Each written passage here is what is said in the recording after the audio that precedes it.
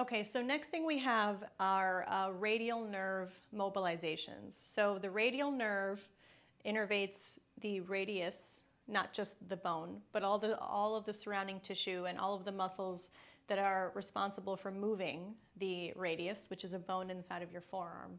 So we're targeting the um, elbow and sensations that would mimic um, tennis elbow.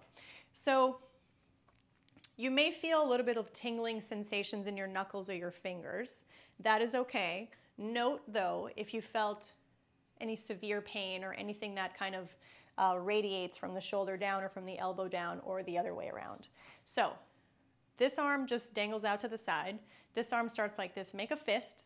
Then watch me first. So you're to internally rotate, punch your fist down, and then extend the elbow out and then drop your head in the opposite directions, opposite, direction. Then you're going to reverse.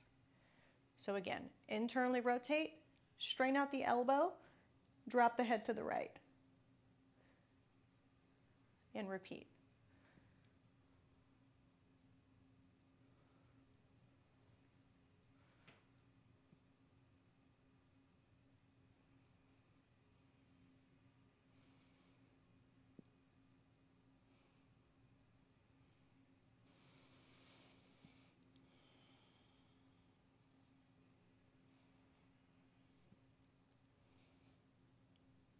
Going to do two more.